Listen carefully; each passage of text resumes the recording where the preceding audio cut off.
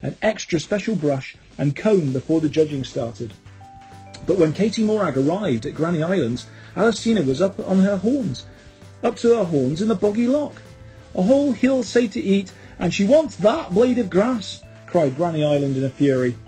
Look at your fleece, and today of all days, you old devil, ranted Grannie Island when they eventually got Alecina out of the boggy loch. We'll never get this peaty stains out in time for the show.